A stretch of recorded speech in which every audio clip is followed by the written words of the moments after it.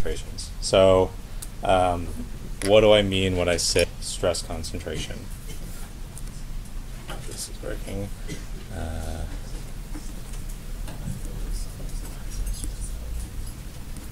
huh? When I concentrate on this class, I stress out. Stress out. That is that is a good one. Um, so the the general question is if I have some sort of a discontinuity in the material, if I have a hole in a plate, so say I take some plate with some stress being applied to it and then punch some random shaped hole in the middle of it. Let's call this a hole. And I look now at the stress at the midplane of the sample. What's going to happen to it? So if I, let's draw a couple potential examples.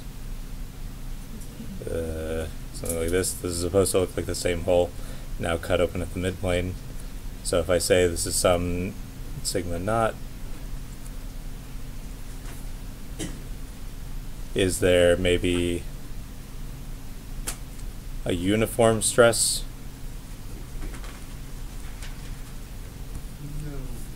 Is there a decreasing stress near the hole?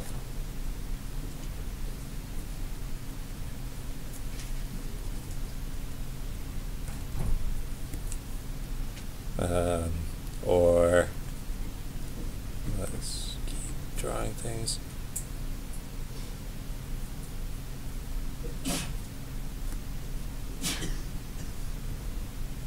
There an increasing stress near that hole? So, um, to gauge your intuition really quick and just to get you maybe thinking about it a little bit more, I'm going to have a Poll Everywhere thing on this. So, as a heads up to get that ready.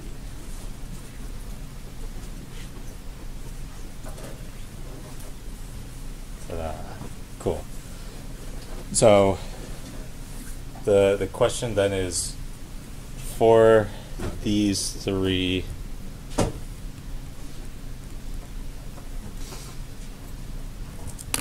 for these three um, if I if I cut a hole in a plate I look at the stress now around that hole what does the stress profile look like at different parts along here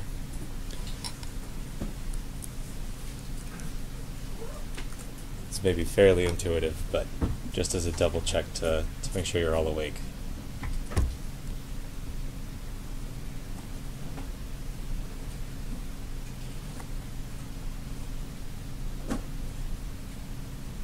Okay. Let's jump back. Cool. So, um, this is good. Generally, yes, everyone's intuition is is correct here, with the caveat that I didn't actually specify which stress, but generally the way that I had written it, we're looking at um, do do do pops back up again. Yep, the stress still in that direction. So if I'm applying a stress in this direction, um, and I cut a hole in a material, the stress near that hole in this direction is going to increase. So the question then is is how much does it increase, and how much does it increase for a specific shape, or how does that how does that increase change for a given shape? So I'm going to define a constant now, k, our, our stress concentration constant. So uh, stress concentration factor k is equal to sigma max over sigma applied. Where here missing things. Um, here basically I'm saying if this is actually our correct case whoa let's not erase things with the cap on again. Um, if this is actually our correct case how, how much does this thing increase by here near the hole? Um, and so that will quantify with this stress factor K here. And so we're looking at that ratio of our, our far field applied stress to the local stress. So before I get into all of this, there, there's an example that I'm going to show you, which is kind of the, the typical example of stress concentrations, and that's a, a circular hole in a semi-infinite plate. But before before we get into that, I'm going to define polar stress coordinates. Did you guys see polar stress coordinates or stress in, in polar coordinates in 220 or anywhere else? No? Maybe? Okay. Okay. So you've, you've probably seen polar coordinates in general in math courses. You may or may not have seen polar coordinates in, in, in the terms of stress. Um, so I'm going to define really quick polar stress coordinates. So for this, um, I have some arbitrary body with some point zero, um, and I want to look at now the stress at some distance away from this point zero. Um, I can draw a little box here. This is a very big box actually, but uh, and I can define now stress in this box away from that point zero as the stress here is some radial stress, sigma RR. The stress, so the, the stress along the direction away from the point um, the stress tangent to the direction. I'm going to call it sigma theta theta. And in shear here, uh, this is going to be a sigma r theta. r theta. Where this is, um, let's draw this again, uh, some point O, this is now for some direction r at some angle theta away from the horizontal. So um, your general stress coordinates, if you remember maybe stress stress transformations, r is x squared plus y squared, theta is inverse tangent of y over x for general polar to Cartesian uh, coordinate transformation. For stress transformation, this is a little bit different. It gets a little bit more complicated. So in general for this. Let's see if I can do that. Come up with a better way to continue onto a new sheet. Um, so in general for this, the, the transformation is this kind of ugly long function, uh, but it'll be useful. Sigma RR now in terms of our original, the normal Cartesian stress, sigma xy and, and shear. Uh, this is sigma xx cosine squared of theta sigma y y sine squared of theta plus 2 xy sine theta cosine theta theta theta is x sine squared y cosine squared oh, minus 2 sine cosine sigma r theta is sigma y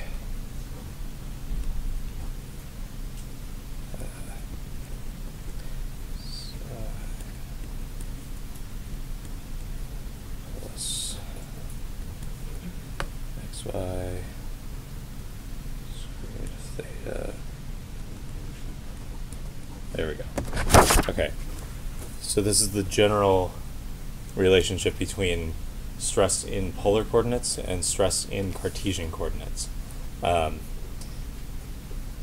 this is particularly useful for the lab that you'll be doing this week um, because it turns out when we have a circular hole, it's easy to look at stress in terms of polar coordinates, the circular coordinates, just makes things a little bit easier. In the example today, I'll show, I'll go through polar coordinates, or I'll, I'll show the stress in terms of polar coordinates.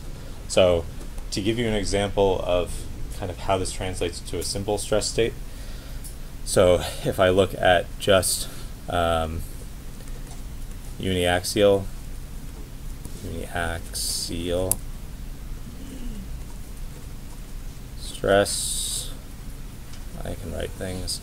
Uh, now if I have again some sigma naught now with an x and a y direction here um, I know my sigma x is just sigma naught sigma y and sigma xy are both zero in the body given this coordinate system I can take these and plug them into my relationships up here and say now uh, my sigma r is equal to sigma naught cosine squared of theta. I'm going to rewrite this using a, a, double angle theorem identity, um, which is 1 half sigma naught 1 plus cosine of 2 theta. Um, theta theta sigma naught sine squared of theta, which is also 1 half 1 minus cosine of 2 theta, and r theta. I'm just going to straight go to the double angle theorem. Uh, 1 half sigma naught sine of 2 theta. So even for kind of a simple stress state like this, the polar coordinates are a little bit maybe not non-intuitive the equations for them. Um, but basically you can imagine here for this for this 2 theta uh, if I go 0 or 180 I'm getting the same stress and it kind of changes uniformly along there. So RR when I'm looking kind of in the vertical direction is 0 because there's no stress then in the vertical direction. So when theta is uh, when theta is 90 degrees um, when it's back to 180, then I'm getting the same stress again. Um, so it kind of goes in a circle. But these, it turns out, are kind of a useful starting point for the next thing we're going to talk about, which is a hole in a plate. So, what happens now when I take this uniform plate um, and I punch a hole in it? Let's jump to this. Okay talk now of a hole in a plate. So, my starting point, let's define our system here. I have a hole, I have a plate now, that same uniaxial loading condition. Um, some, I'm going to call this sigma infinity. So uh, let's, let's slightly redraw this. Um, so here now, this is, I'm going to make these wiggly lines, probably keep it the same. Uh, what I'm trying to show here is, let's call this a semi So basically the the size of the plate now here, if this is some hole with radius A in the middle, the size of the plate of plate is much larger than that hole that's inside it. So this is like a, a maybe a, I don't know. You could say in a, in a sheet, this is maybe a hole punch size hole in a in a A4 paper, but the the size of the hole is like at least ten times smaller than the overall size of the plate. Um, for this now, I can say the far field stress. So so now I, I want to find what the stress distribution here at the center of the hole is, or here at the here around the hole is. Far field distribution of stress I can say my sigma r,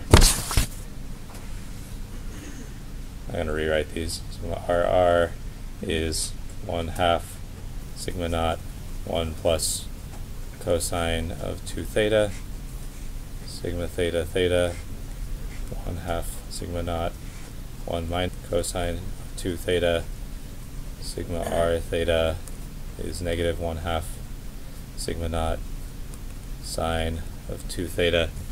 So this is my far field at now some distance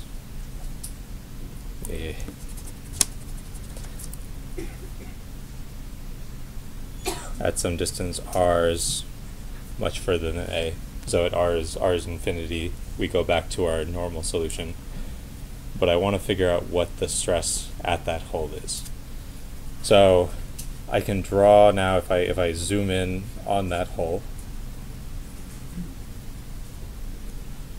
This is again some radius a.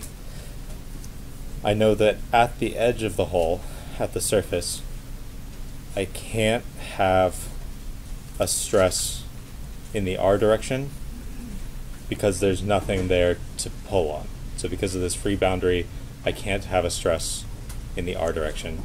Similarly, I can't have a shear along the surface of that plate. Sigma r theta is also zero. But I can be pulling along the side of that plate. So I know sigma theta theta is something. So the question then is what is that something? So there's a way to get generally to this solution that I'm not going to show you because it's a little bit complicated, but it involves something known as the Airy stress function. Um, in your lab manual, I have a link to, uh, there's a book, again, by, by a guy named Stephen Timoshenko, which you may recognize that Timoshenko name. Basically, he was a, a Russian mechanical engineer who solved all of the solid mechanics problems uh, in like the 40s and 50s. So, um, but there's there's a book by him called Theory of Elasticity where he he's comes he shows really nicely the the derivation of the solution, but um, and I'll, I'll ha- I have a link to it in the lab manual. But the basically what we end up with there's a big general solution that we can get for r uh, r theta and theta theta, which I'll show in a minute. But the important one ends up being the stress at the edge of the hole. So, kind of intuitively, the stress increases near the hole, um, and at at the edge of the hole, that's where the stress concentration is highest because that's where the material is missing. So, we end up with our stress concentration at the hole is sigma naught 1 minus 2 cosine of 2 theta. So this is at r is equal to a. What that means now, if we start looking along the surface of the hole,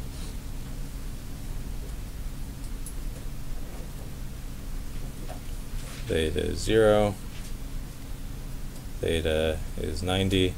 Um, when I start plugging stuff in here, so if I plug in now, remember there's a far field stress sigma naught somewhere far away here.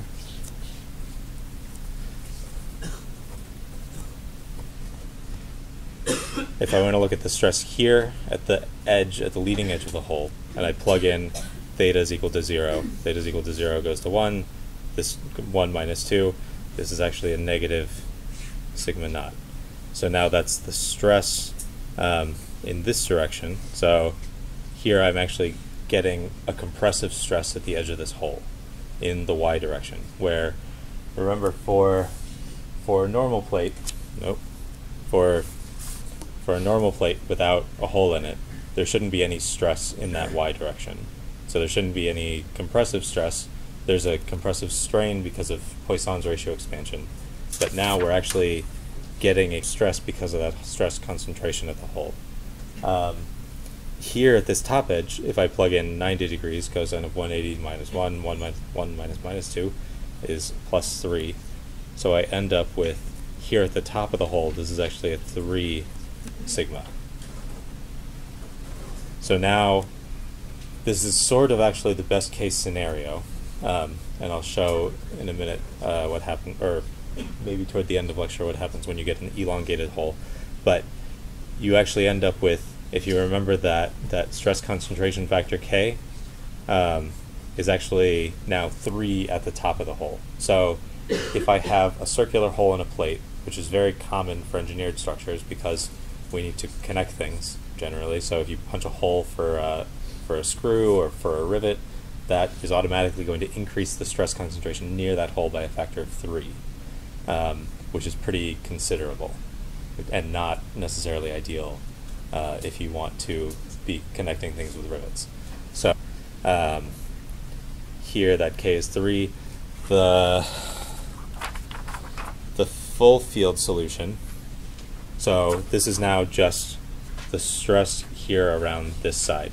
Um, if I plug in on the other side, uh, this is symmetric. This ends up also being 3 sigma, and this ends up being compressive negative sigma. Um, yeah. So does the value of A not matter for the stress concentration? In this case, yeah, it actually doesn't. But this is, again, assuming that the size of the plate is much larger than A. So this is why I'm calling this a semi-infinite thing. This, if, if your size of the plate gets small relative to the size of the hole, then it basically, you get extra stress concentration factors. Uh, and there's a way to do that that I'm, I'll probably try to talk about on Wednesday. Um, yeah, but so, yeah, in, in, in a semi-infinite plate case, this A doesn't actually matter, interestingly. But if it's not perfectly circular, the aspect ratio of it matters, which I'll show toward the end of today. So, uh, the full field solution is kind of a little bit gross, uh, and it makes it more gross because it's in polar coordinates, so it's maybe not necessarily intuitive. But I'm going to show it to you. Uh, you don't necessarily need to have it memorized, but I'll show kind of what it what the implications are for the stress concentrations. Um, so the full field solution we can pull out uh, is at any arbitrary position now r around the hole other than in the circle. So r is greater than a, greater than or equal to a, um, and at any position, uh, any theta. This is now some sigma naught over 2. This is a 1 minus a squared over r squared plus 1 plus 3a to the fourth over r to the fourth minus 4a squared over r squared. Cosine of 2 theta. Close this off. Theta, theta, sigma naught over 2. Um, 1 plus a squared over r squared minus 1 minus 3a to the fourth over r to the fourth cosine of 2 theta sigma r theta minus sigma naught over 2 1 minus 3a to the fourth r to the fourth 2a squared over r squared sine of 2 theta. Okay, so this is the general far field solution for the stress distribution around a hole in a plate. So somewhere in, oh, see if we can actually pull it up If my mouse wants to work.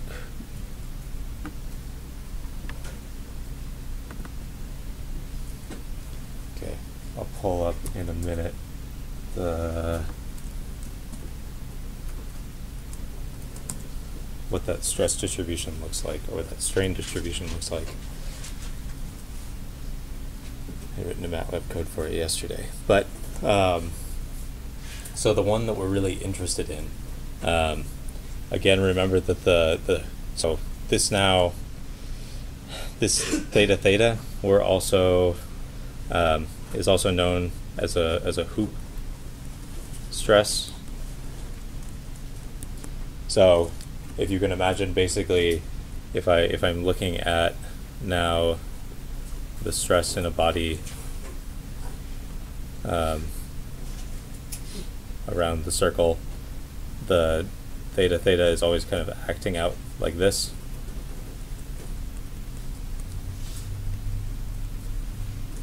Rolling out this way.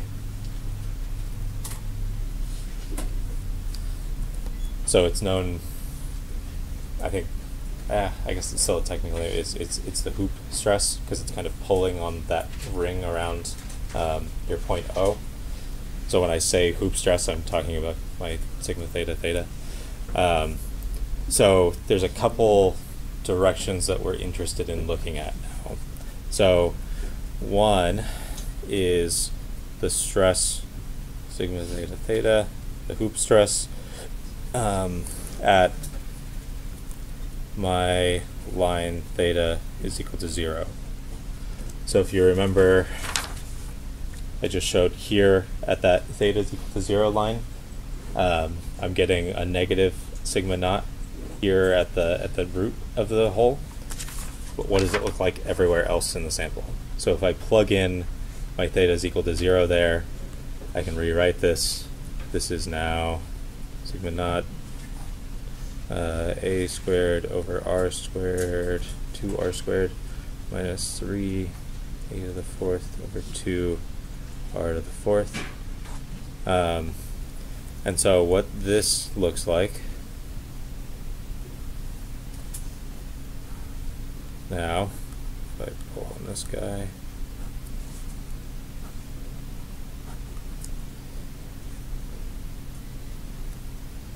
This is the stress along this zero line.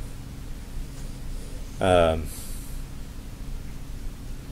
so the stress here at some point is minus sigma naught, or minus sigma infinity, I guess, depending on which notation I'm using, which I keep mixing up.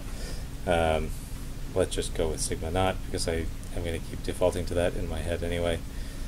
Um, so I get a minus sigma naught here, as I go further away, as this r increases, this has an r squared and r to the fourth on the bottom, so this is going to kind of quadratically go to 0. So it's going to kind of go up to 0 there. So as I go further away from the center of this hole, it's going to be here minus sigma naught at 0, or at, at r equals a, and then it's going to kind of decay to 0 pretty quickly because of this r squared and this r to the fourth on the bottom. Um, if I look now sigma theta theta in the vertical direction, this one, theta theta at, this is equal to 90 degrees, this is sigma naught 1 plus a squared over 2r squared 3a to the fourth over 2r to the fourth. If I plug things into my equation up here, if I move it up higher, um, and what this now looks like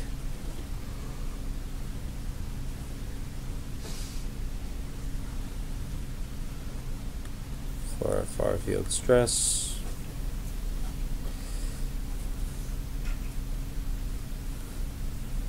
we're looking at the stress along this line here. Um, so here I can say now there's some positive 3 sigma naught.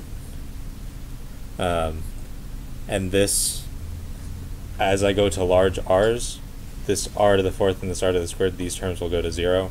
Uh, and so I'll end up with a sigma 1. So this, at some distance far away, decays to decays to sigma naught. Um, and then close to the hole, it's a, it's a 3 sigma. So exactly how fast it decays is sort of interesting to look at. So I know for this guy, at my r is equal to a, my hoop stress is 3 sigma at r is equal to 2a. So now this is two whole radii away from the center. Um, my hoop stress decays down to 1.45 sigma naught. Um, at 3a, this goes down to 1.11 sigma naught. Um, and at 4a, this goes down to 1.07 sigma naught. So it decays down pretty quickly. So now you can see even if I'm just one whole radius away, this is already down almost near what it should be at the for, for far field stresses. So along with your lab, let's see if I can make MATLAB work. Let's see if I can make a U drive work. Uh, open. That's odd. Uh, oh, that's really strange. Let's go to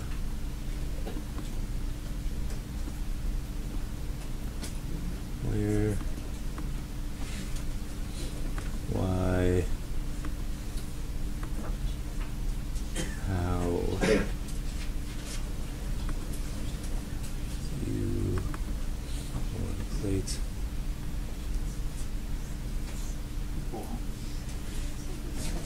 There we go. Um, this is going to be interesting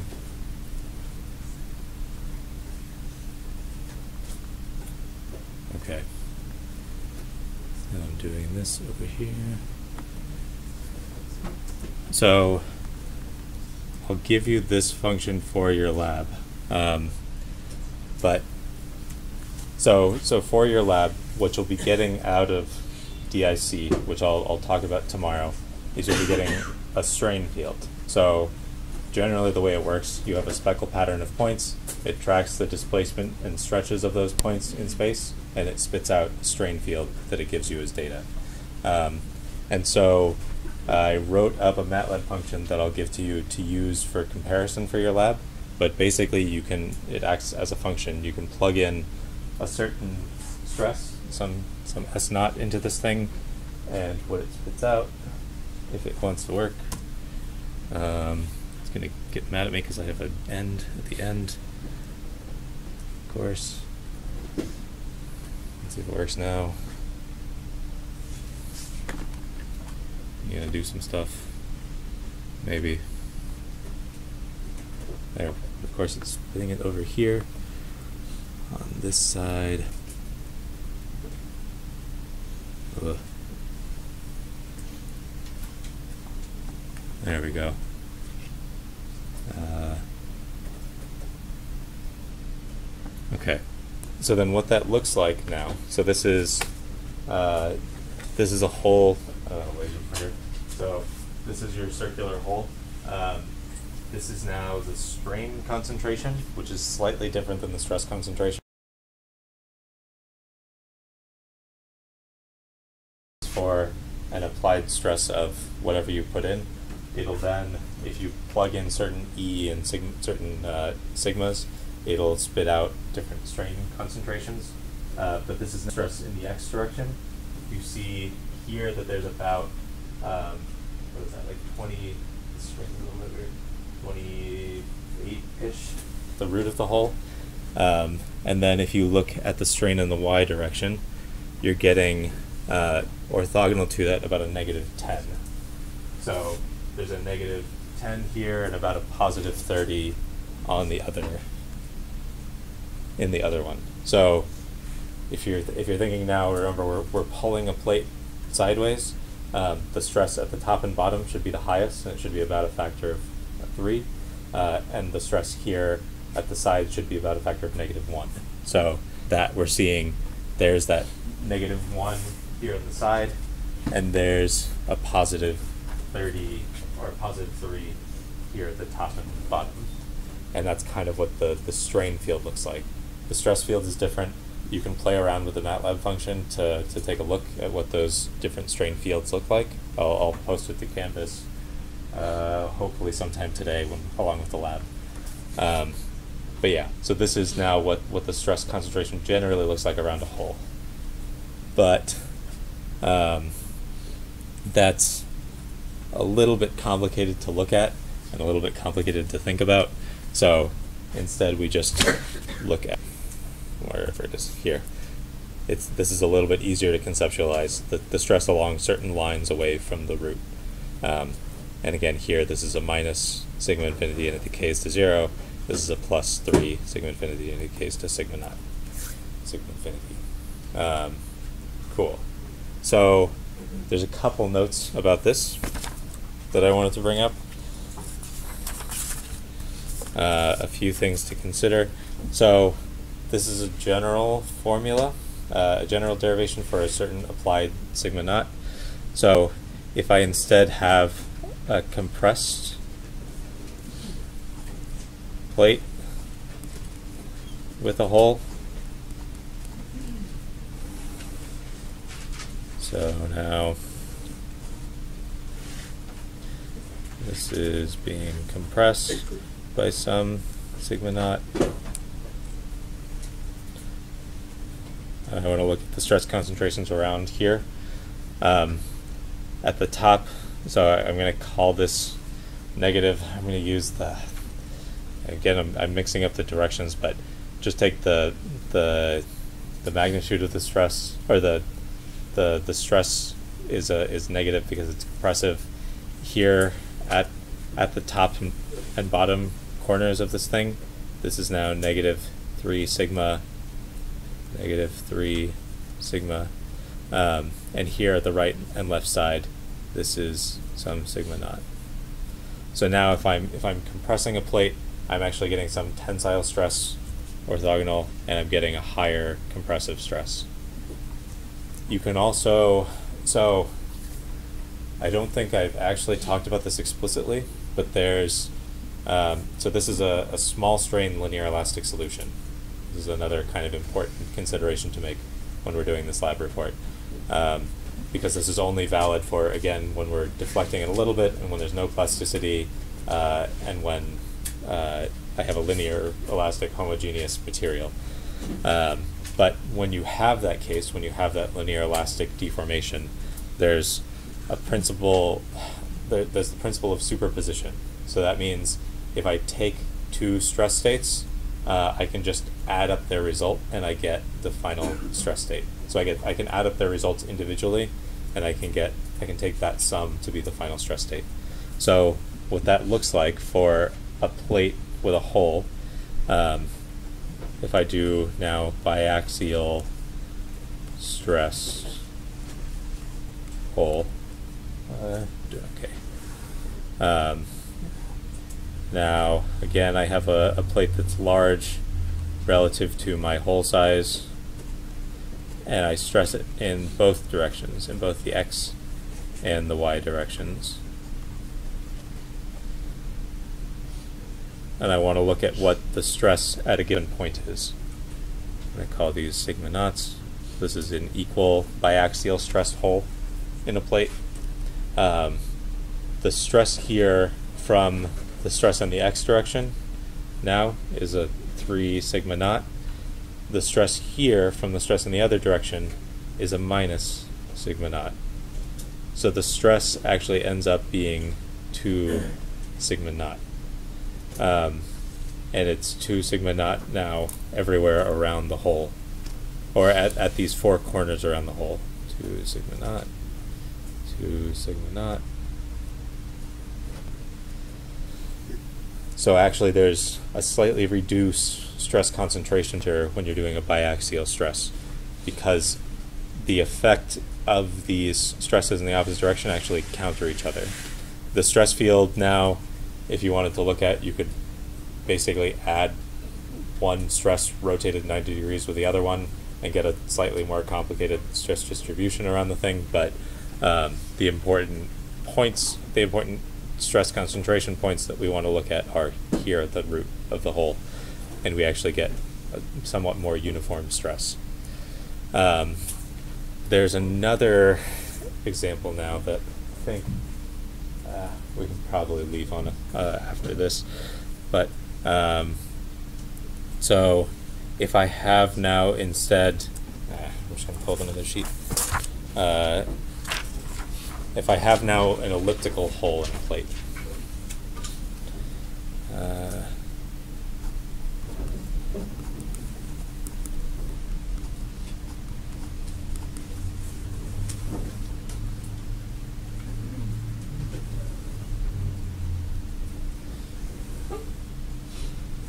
this is being stressed at infinity.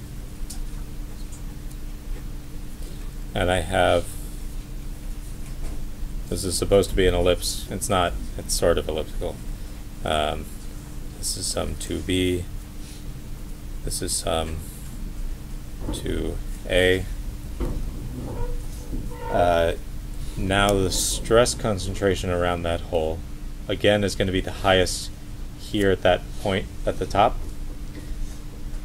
What that stress max is actually going to be is our sigma naught uh, 1 plus 2b over a. So um, this is specifically at top of the list because um, again here I would have a higher stress concentration. When this isn't elliptical at all, when b is equal to a, this goes to 1 and I get my 3 sigma naught stress concentration. But importantly, as um, A as A becomes much smaller than B, as A sort of goes to zero, um, then my sigma max starts going to infinity because this term becomes infinitely large. So now if I have a very, very sharp crack, if I had something in a block that looked like that with a very, very high aspect ratio. The, script, the stress concentration here at the root of the ellipse is very, very high. So that would mean for it, basically for any material, if I, if I drew a, if I took a razor basically and I, and I cut a scratch in that hole, uh, or, and I cut a scratch in the material, there'd be a huge, huge stress, stress concentration, and if I pulled it at all, it would just kind of tear through the material immediately. The reason that isn't the case is because we have plasticity. So plasticity will then start to cause deformation local to the tip, um, and it'll sort of reduce that stress concentration uh, plastically. If you have a very brittle material, that isn't always the case. So if you remember before, when I when I mentioned brittle materials fail via tension, this is why. Because if I have a tiny crack with a small, even even a even a very small crack with a high aspect ratio, a, a small skinny crack, it's going to cause a huge, huge stress concentration in the material. And if there's no plasticity mechanisms microstructurally, if there's no dislocations or grain boundary sliding that can happen around the notch, um, then that'll just cause it to shoot straight through the material. Um, you never have an atomistic, or very rarely, it's not really practical to have an atomistically sharp crack. Um, so you never actually have an infinite stress concentration, but you can have very high stress concentrations that, if they aren't alleviated plastically, will will cause failure pretty easily. Um, that's probably a good point to stop at. So tomorrow again we'll talk about stress concentration or uh, digital image correlation. I'll go through some of the background of that. Uh, and then I'll talk about the DIC lab that you'll be doing this week. But basically, you'll be looking at a strip of rubber with a hole in it, and you'll be looking at these strain concentration maps around that hole.